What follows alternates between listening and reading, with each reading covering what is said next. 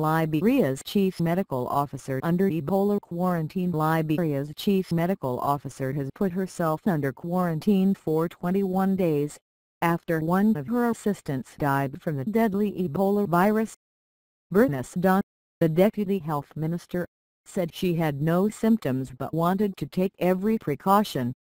The World Health Organization WHO says more than 3,000 people have died from Ebola in West Africa Liberia has been the worst hit by the disease, accounting for 1,830 deaths, 150 in the last two days alone.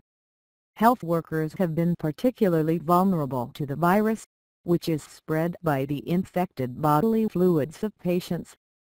Health organizations recommend isolating people for at least 21 days, which is the maximum incubation period for the virus every precaution Ms. Dahn told the BBC on Saturday that she herself had decided to go into quarantine and wanted to abide by that rule. She said she had not come into contact with any other infected people, apart from the office assistant who died this week, but wanted to take every precaution the latest two figures indicate that more than 6,500 people are believed to have been infected in the region in the world's most deadly Ebola outbreak.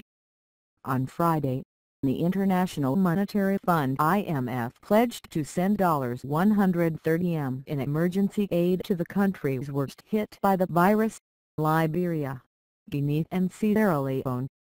Some 600 people have died in Sierra Leone and a similar number in Guinea, where the outbreak was first confirmed in March.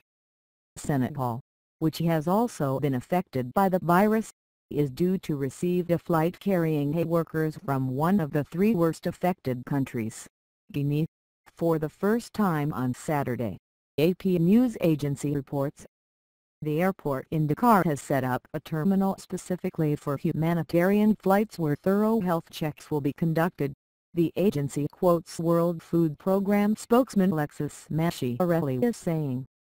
Speaking at the United Nations General Assembly in New York this week, the United States President Obama called for more urgent action in the response to the outbreak. There is still a significant gap between where we are and where we need to be, he said.